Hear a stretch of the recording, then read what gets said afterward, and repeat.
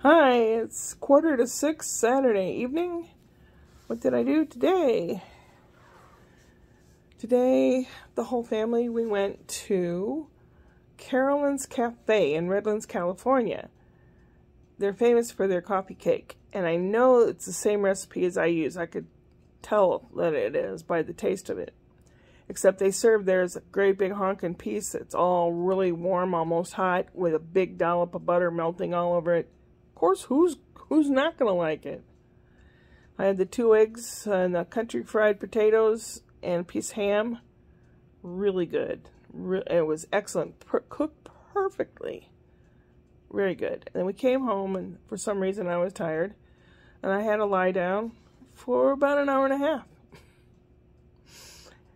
And Brian went off to uh, someone he works with baby shower, and Spence and, and Ashley were at home. And I got ready to go to the Oktoberfest in Redlands. I had purchased a ticket thing for it, and uh, thought I'd go.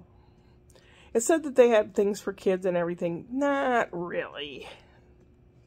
They had a lot of beer sales, and they had some Mexican food sales, uh, some bratwurst sales, and a big soft pretzel sales. Soft pretzels were $8.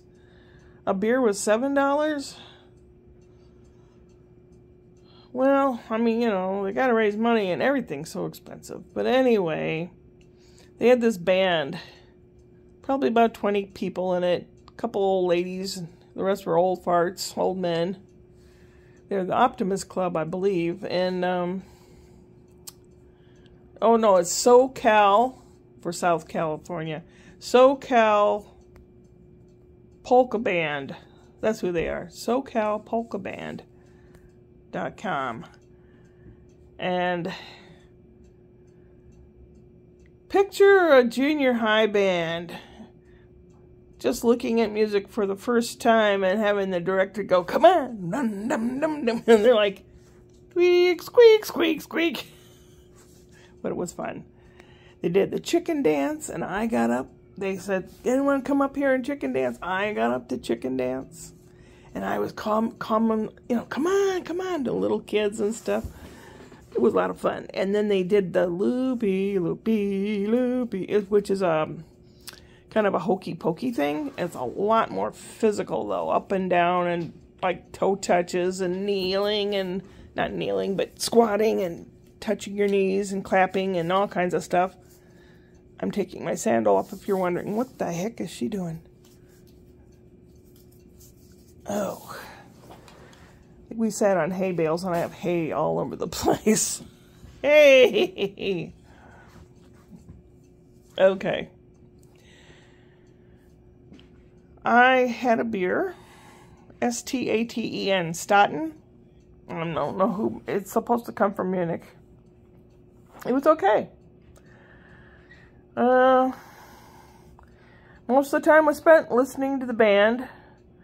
They played some things from Sound of Music. They played the Pie in the Face Polka from The Great Race. They played the Prune Song, which is a, a bohemian song when people are picking prunes, you know, singing.